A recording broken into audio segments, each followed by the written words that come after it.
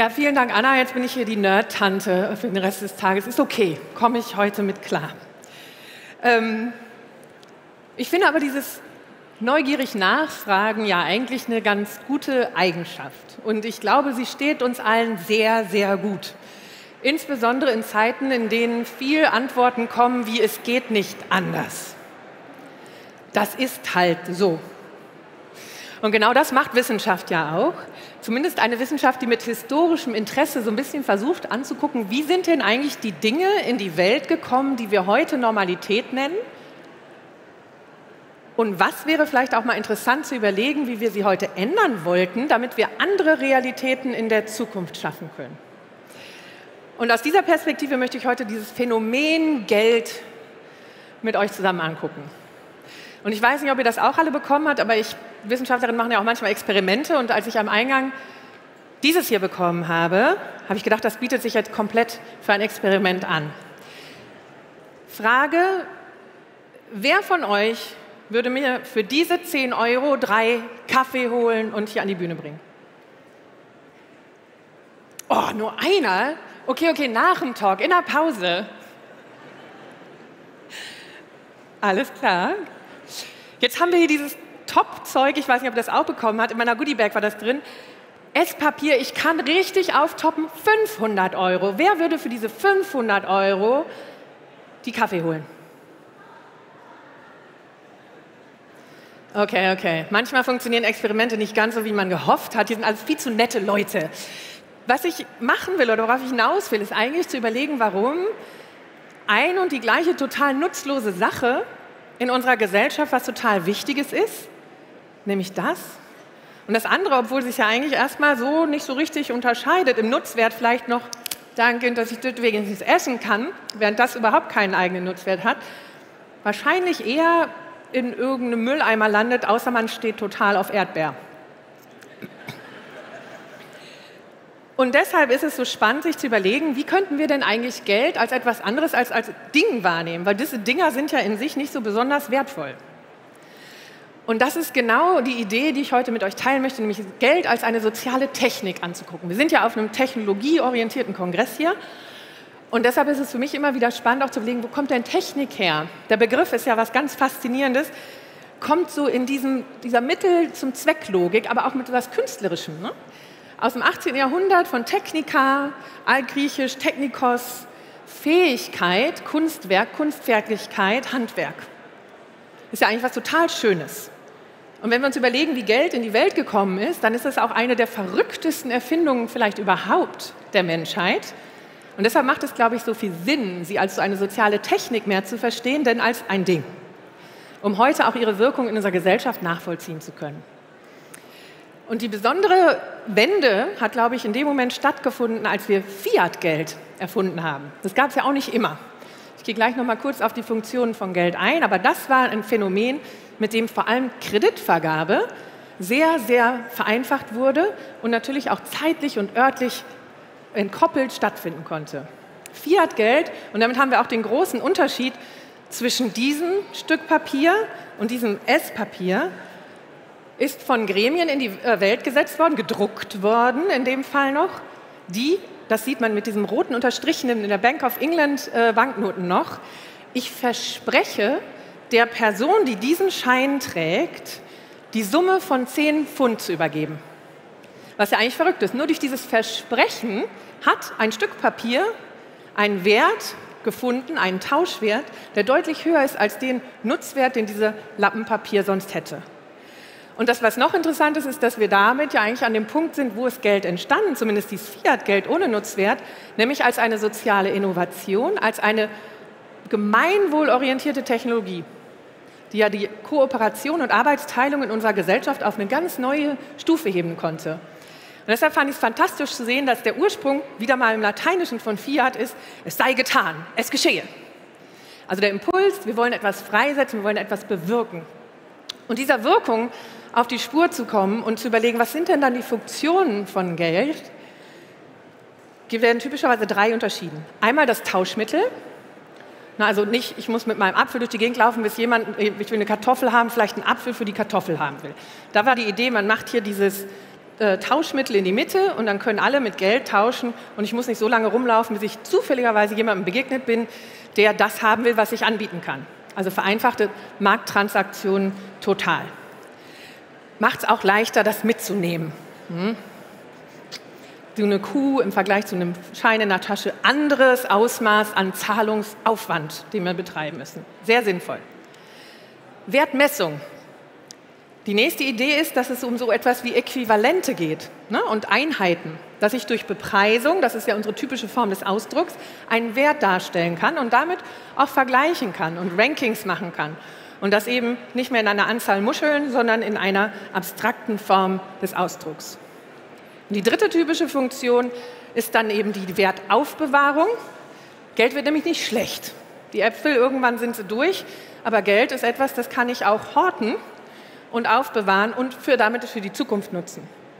Das heißt, es ist eine sehr interessante Form von Aufbewahrung von Wert. Damit stellen sich aber drei Fragen, wenn wir sagen, das sind die Funktionen und es soll etwas werden und es soll etwas entstehen, nämlich was?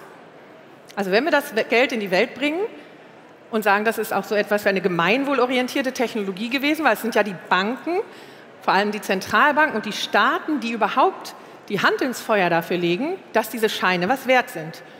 Und deshalb bis heute können Finanzmärkte überhaupt nicht bestehen, wenn nicht regulatorisch dafür gesorgt wird, dass die Verträge, die sie eingegangen sind, im Zweifel auch durch Jurisdiktionen eingehalten werden. Oder in dem Fall der Finanzkrisen, dass so etwas wie Länder of Last Resort Banken einspringen und sagen, wir garantieren, dass diese Werte nicht verfallen.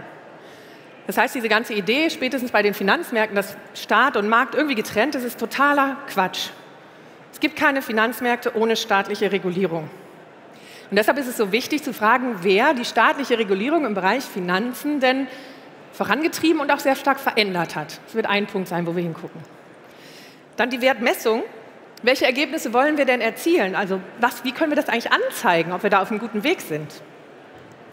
Und die dritte bei der Wertaufbewahrung, welche Bestände, also was wollen wir denn eigentlich aufbewahren, was wollen wir denn erhalten, wenn wir sagen, dass äh, wir das auch bilanzieren, sprich in Geldwerten ausdrücken wollen. Ich fange mit dem Tauschmittel an. Da sehen wir nämlich folgende zwei Probleme, die ich äh, aufmachen möchte, weil mir das auch so total wichtig ist, weil wir momentan ganz viel hören.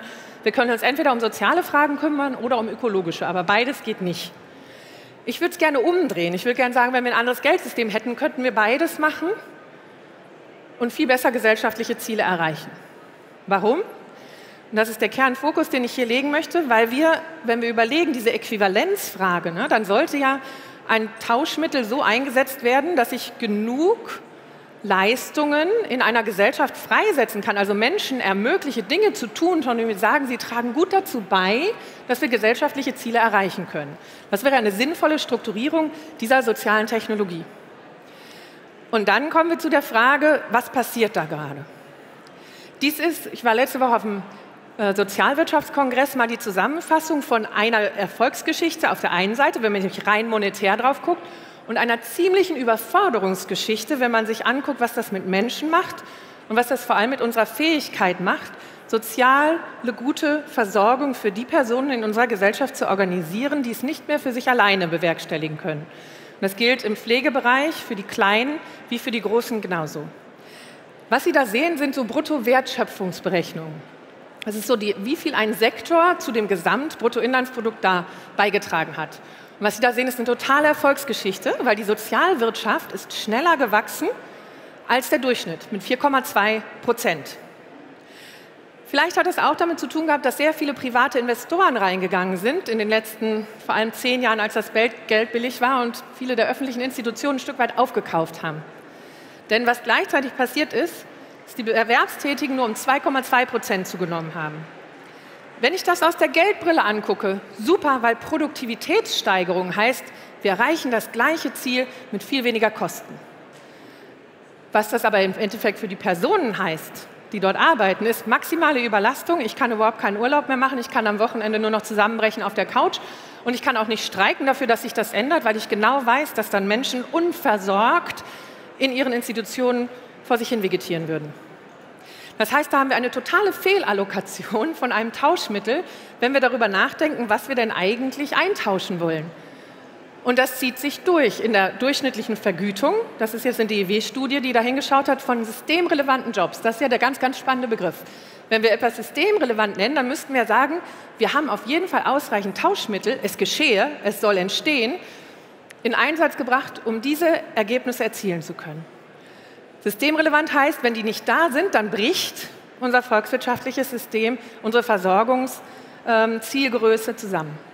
Und jetzt sehen wir die Gesamt, alle Berufe, Durchschnittslohn ist höher als bei diesen systemrelevanten Jobs. Und da finden Sie alles, Gesundheitsversorgung, äh, Logistik, vor allem aber auch die Pflegeberufe etc. Und sie sind der einzige Ausreißer, das sind dann die Ärzte und Ärztinnen, also alle, die mit dem weißen Kittel daherkommen, die Götter in Weiß, die schaffen das, komplett rauszulaufen. Aber da vergessen wir auch wieder, wer denen alles zuarbeitet. Die rutschen nämlich genau wieder weiter nach unten in der Vergütung. Und das, was ich noch relevant finde, und das ist auch ein Thema, wenn wir mit Geldwerten reden, welche Werte drücken wir dabei aus? Das ist nämlich das Berufsprestige, die Reputation oder auch die Wertschätzung, die damit schwingt. Und wenn wir das angucken, der Wert oben in grün wieder gesamt alle Berufe mit 63,2 ist auch deutlich höher als bei den systemrelevanten Jobs 58,6. Äh, das heißt, wir haben in zweifacher Form in dem Ausdruck von Geld, Vergütung für diese Leistung, als auch in der Art, wie wir darüber sprechen und wertschätzen, was in diesem Sektor passiert. Denken Sie mal an die ganzen Headlines, die Erfolgreichen in unserer Republik. Wer sind die Erfolgreichen in unserer Republik? Die, die es geschafft haben, viel Geld bei sich anzusammeln. Warum eigentlich? Wenn wir doch genau wissen, dass viele dieser Verhandlungen gar nicht frei sind, sondern A, viel zu wenig von Tarifverträgen gedeckt sind, im Bereich Pflege insbesondere, und B, dann aber eben auch tarifvertragliche Verhandlungen gar nicht in der Hand derer liegen, sich für eine Vergütung in dem Ausmaß einzusetzen, wie sie vielleicht eigentlich als Tausch gerne hätten. Worauf ich hinaus will, Geld ist politisch. Preise sind politisch. Und wir sollten deshalb die Frage, welche Verhältnisse Geld schafft, politisieren, uns einmischen. Genau diese Transparenz erfordern und einfordern. Das ist nämlich das Äquivalent auf der ökologischen Seite. Landwirtschaft in Deutschland im Moment total im Stress. Und zwar aus zwei Gründen. Dieser ist der erste, den ich machen möchte. Das ist nämlich auch, dass wir dort die Wertschöpfung nicht akkurat abbilden. Wir bilanzieren die Erträge in der Landwirtschaft mit den Preisen, die dafür bezahlt werden. Aber diese Preise sagen eben nicht die Wahrheit, wenn ich daran interessiert bin, die Systeme, die Versorgungssicherheit generieren können, also systemrelevant sind, CO2-Speicher im Boden, Wasserreinigung, Luftreinigung, Artenschutz oder so etwas wie überhaupt die Erosion der Böden aufhalten, Grundwasser nicht verschmutzen etc., ist ja sehr eng gekoppelt mit dem, wie ich diese Erträge in Tonnen an Reis etc. gemessen, bei uns nicht Reis, eher Mais, gemessen äh, produziere. Und da laufen sehr, sehr viele versteckte Kosten auf, die aber eben nicht in den Preisen an der Kasse sind, aber natürlich irgendwo in unserer Volkswirtschaft auflaufen. Und das sind eben bei 100 Milliarden Euro pro Jahr, hat die Boston Consulting Group vor zwei, drei Jahren ausgerechnet. Und jetzt komme ich zu dem zweiten Punkt, der das Ganze so paradox macht. 21 Milliarden Euro ist der offizielle Umsatz, also Geldwerte. 90 Milliarden externe Kosten, die wir da nicht sichtbar drin haben in dieser Bilanz. Und jetzt kommt es dazu, wir reden aber nur von 0,7 Prozent der Bruttowertschöpfung Landwirtschaft, weshalb wir ganz oft darüber sprechen, dieser Sektor ist bei uns nicht so relevant. Die Bruttowertschöpfung im zum Beispiel unternehmischen Dienstleistungen, auf die ich gleich nochmal zurückkomme, wo die Leute sehr hohe Stundenlöhne haben etc., die wird als relevanter gesehen für unsere Gesellschaft, obwohl wir uns ja fragen könnten, wovon können wir vielleicht ein bisschen weniger haben? Steuerberater, Finanzberater, tatata oder Nahrungsmittelproduktion? Wieder, die Preise sagen nicht so richtig, wo wir stehen und die Wertschätzung für diejenigen, die sich darum bemühen, hier die Systemrelevanz zu erhalten, passen überhaupt nicht zusammen. Während wir dann tatsächlich, gab es eine spannende Studie von der Finanzwende, auf die ich gleich noch eingehe. Großer Tipp, Gerhard Schick kommt heute auch noch um drei hier, geht ihm zuhören. 648 Deutsche Bankangestellte über eine Million Gehalt bekommen. Moment, die waren doch auch systemrelevant. Die konnten wir ja nicht pleite gehen lassen, die Banken. Und dadurch haben wir in der Finanzkrise dafür gesorgt, dass diese systemrelevanten Organisationen weiter Bestand haben, aber die, die sich ums Soziale und Ökologische kümmern, da ist es sehr viel schwerer, in irgendeiner Form dieses Argument in auch politische Macht zu übersetzen. Und deshalb ist die Wertmessung so wahnsinnig wichtig, mit der wir das alles argumentieren. Das ist der zweite Punkt, ne? Wertmessung. Also wie, was drückt das Äquivalentgeld eigentlich aus? Und da sind wir bei den Ökosystemdienstleistungen. Hier nochmal zusammengefasst, warum das überhaupt nicht weich, soft oder irgendetwas ist. Hier geht es ja wirklich darum, dass wir die Ressourcen, sei es das Holz zum Bauen, sei es im Grunde genommen auch zum Verfeuern beispielsweise, sei es äh, Materialien, die wir aus dem Boden holen, um sie irgendwo einzusetzen, also die ganzen harten Ressourcen, die wir sehen, aber eben auch die Dienstleistungen, die ich eben erwähnt habe, das Säubern, das Wiederbereitstellen etc. Das läuft weitgehend ja hinter unserem Rücken ab. Die ähm, Alliance Business for Biodiversity hat gerade durchgerechnet, 55 Prozent des Bruttoinlandsprodukts hängen eigentlich ziemlich direkt davon ab, dass diese Wertschöpfung kontinuierlich in einer Form fortbestehen kann. Das heißt aber auch, dass wir verstehen müssen, wenn wir zu stark da eingreifen, dass wir diese Systeme und wie sie funktionieren und die Werte, die sie dabei generieren, kaputt machen.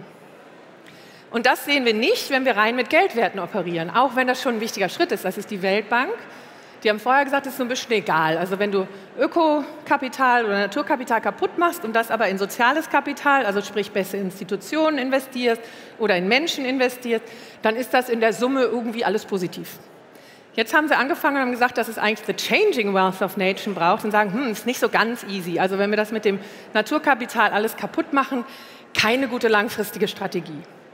Aber, und das sieht man da in diesen Messgrößen, es geht nur darum, wie viel Geld aus der Nutzung der Ökosysteme gemacht wurde. Das ist das, was diese Studie anzeigt.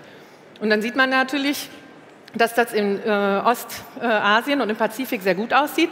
Wenn man sich aber die Studien dazu anguckt, die wirklich schauen, was ist mit Entwaldung passiert, was ist damit mit Biodiversitätsverlust passiert, welche Verschmutzung wird damit äh, vorangetragen, dass diese Entwaldung und diese Nutzung des Naturkapitals sehr äh, volkswirtschaftlich relevant vorangetrieben wird, dann sieht es sehr anders aus. Dann kommen wir nämlich in dieses planetare Grenzen, die ganz anders gemessen werden, nämlich in physischen Einheiten. Und da ist Klimawandel die eine, wir haben äh, Biodiversität und Integrität, Artensterben das andere. Und wir haben neue Einträge, die Art, wie wir Chemikalien oder Plastik, ne, Mikroplastik verteilen. Das sind alles Risikozonen, wo, wenn die Anzahl zu hoch wird, wir eigentlich davon ausgehen, dass die Wertschöpfung, die wir gewohnt waren, nicht mehr sofort bestehen kann. Und wenn man sich die Karte dann nämlich anguckt, das ist jetzt eine Studie 31.05., gerade vor ein paar Tagen rausgekommen, der Earth Commission, dann sieht die Karte nämlich eher so aus. Und wir sehen auch, Europa sieht gar nicht so super aus. Da sind links in der Rubrik sind die Number of Boundaries Transgressed. Also Klimawandel, Biodiversität, wir haben auch nicht besonders viele Ressourcen unterm Boden, dafür haben wir viele Nitrat- und Phosphoreinträge etc., die Landnutzung und die Frischwasserversorgung. Das heißt eine komplett andere Perspektive darauf, ob wir das Naturkapital schützen oder nicht, ob wir Preise nehmen, die eben nicht diese ökologische Wahrheit sagen, oder ob wir sagen, hey, wir nehmen vielleicht mal Indikatoren, die uns verstehen lassen, wie diese Beziehungsebene in der Realität funktioniert. Und wenn wir über Preise steuern wollen, dann müssten wir doch die Preise der Realität anpassen. Und das Gute ist, dann könnten wir auch viele Dinge komplett anders steuern, ohne zum Beispiel mehr Schulden aufnehmen zu müssen. Das ist das Ariadne-Forschungsprojekt, was in Deutschland mal geguckt hat, wenn wir einfach umwidmeten, was wir besteuern, dann bräuchten wir gar nicht Neuverschuldung haben, sondern wir könnten im Grunde genau einfach anders steuern. Das heißt, andere Geschäftspraktiken den Bauern ermöglichen, den Wiederaufbau dieses ökologischen Kapitals voranzutreiben, weil wir sagen, der Tauschwert für diese Leistung ist äquivalent zu dem, was du tust. Und du musst das nicht quasi ehrenamtlich machen oder durch philanthropisches Geld, weil du trotzdem dieses Ziel erreichen möchtest, aber unsere Marktpreise dir das gar nicht erlauben.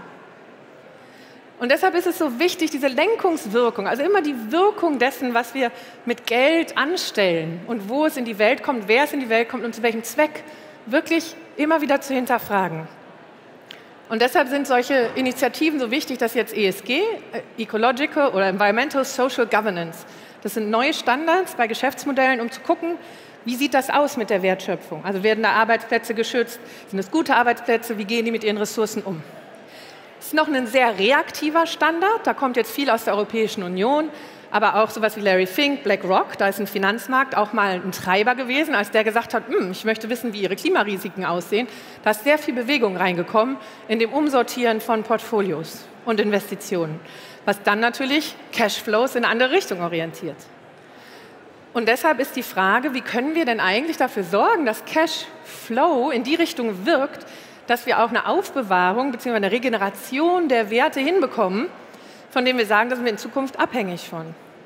Und dann ist es natürlich hoch prekär, wenn jetzt gerade aus der Europäischen Union beispielsweise im Green Deal der Act to Regeneration and Restoration of Nature geplant ist, wo es genau darum ging, weil selbst die Schutzgebiete bis zu 81 Prozent in keinem guten Zustand sind. Also nur weil wir gesagt haben, es sind Schutzgebiete, wenn sich keiner darum kümmern kann, weil es dafür keine Vergütung gibt, gibt es überhaupt keine Garantie, dass es dort super aussieht.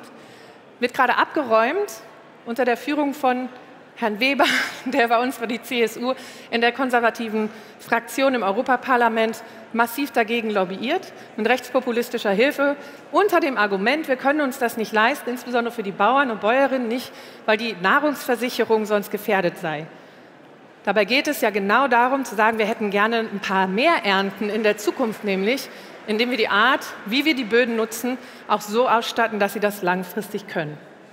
Und dann stellt sich wieder die Wissenschaft hin und sagt, 160 in dem Fall, könnt ihr bitte langfristig denken? Könnt ihr bitte anders bilanzieren? Könnt ihr bitte dafür sorgen, dass zumindest die Anreizsysteme und das Geld, das sind ja 30 Prozent des EU-Haushaltes, die direkt an die Landwirte gehen, so einsetzen, dass das eine Form von Wertschöpfung ermöglicht, die uns langfristig gut versorgen kann. Und deshalb ist es so wichtig, nicht nur den Flow anzugucken, sondern eben auch die Stocks. Das ist so die einfachste Grafik für System Thinking. Es geht rein, es geht raus. Und Geld ist eine reine Flowgröße. Rein, raus. Aber was wir ja sichtbar machen müssen, ist, wie verändern sich Bestände in der Art, wie das Geld wirkt. Geht es darum, dass wir Naturvermögen wieder aufbauen können? Können wir soziales Vermögen halten?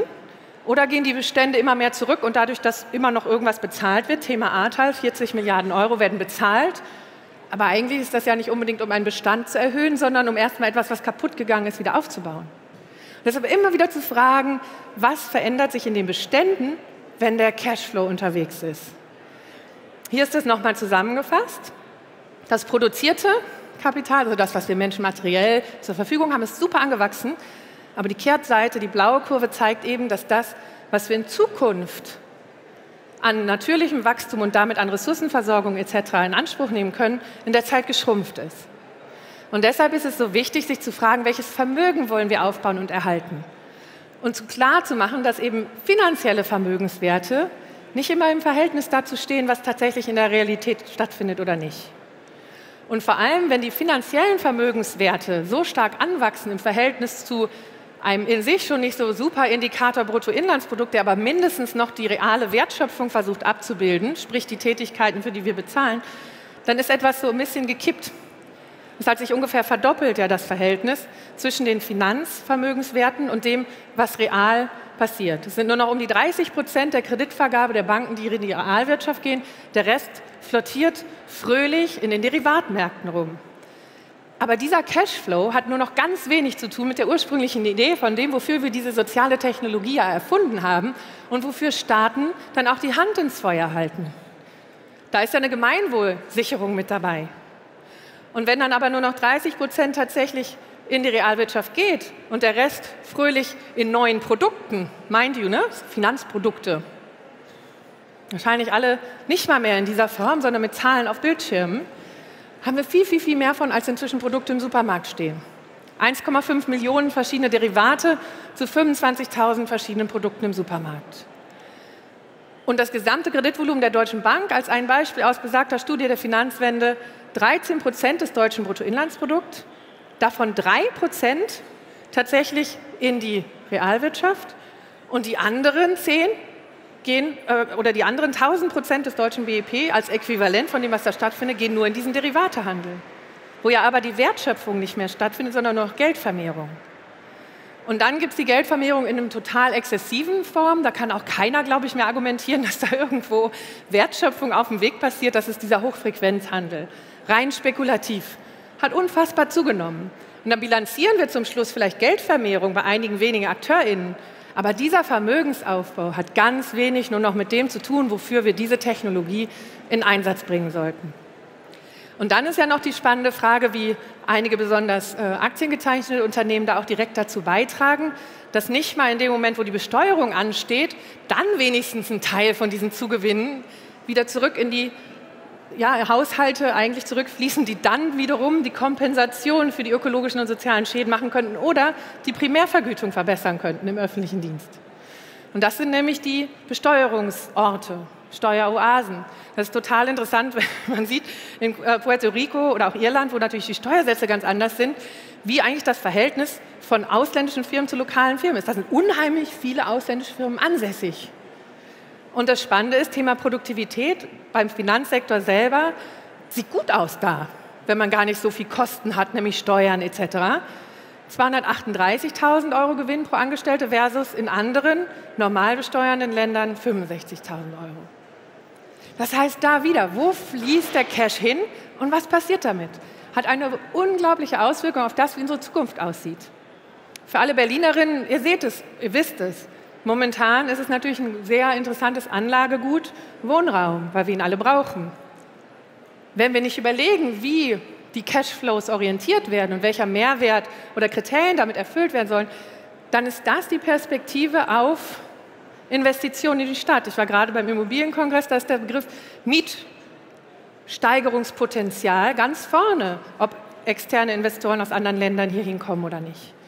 Wir können ja aber auch sagen, Investitionen, die nicht nur Extraktion sind für Leute, die noch am anderen Ort der Welt sitzen, haben ganz klare Parameter zu erfüllen. Und dann sieht unsere Zukunft, je nachdem, wo der Cash hinfließt, eben auch ganz anders aus. Und deshalb der letzte Begriff, den ich heute mit Ihnen ein bisschen hacken will, Wachstum. Es ist nämlich nicht die Summe an Geld, die in einer Gesellschaft zirkuliert. Es ist die Verfügbarkeit von Angeboten, die Wohlergehen garantieren. Versorgungssicherheit, sozial wie ökologisch. Und es ist die Verfügbarkeit dieser Lösungen für menschliche Probleme, die das Leben relativ besser machen und uns reich. Das ist die Definition von zwei Ökonomen, Nick ähm, Hanauer und Eric Beinhocker von dem Institute New Economic Thinking in Oxford. Die sind auch systemische Denker. Und deshalb als Abschluss drei relevante Antworten, wenn wir uns diesen Geldfunktionen nähern und fragen, wie können sie uns denn heute eigentlich Zukunftsgestaltung verbessern.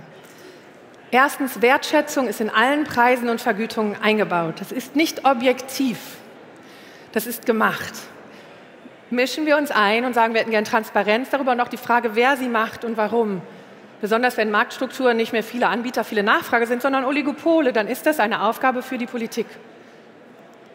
Wertschöpfung ist nur dann eine positive Story, anstatt dass wir sagen, wow, Wertschöpfung super gelaufen, Produktivitätssteigerung Bombe, wenn Kostenwahrheit steht die uns anzeigt, was in der Realität für Menschen und für Natur passiert. Und Vermögen ist mehr als Cashflows. Im Endeffekt ist Vermögen ein Verb. Wir vermögen, das in die Zukunft zu bringen, von dem wir sagen, dass sie uns ein lebenswertes Umfeld und eine lebenswerte Gesellschaft anbieten. Und deshalb, let's talk cash. Lasst uns tyrannesisch beenden. Es sind nämlich Zyniker, die den Preis von allem wissen, aber den Wert von nichts.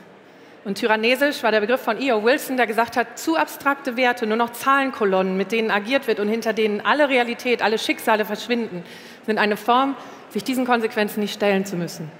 Das können wir aber ändern. Und das ist unser Auftrag. Und besonders die technologische Wizard-Community kann ganz viel zu dieser Transparenz beitragen und sich einmischen und diese einfordern. Herzlichen Dank.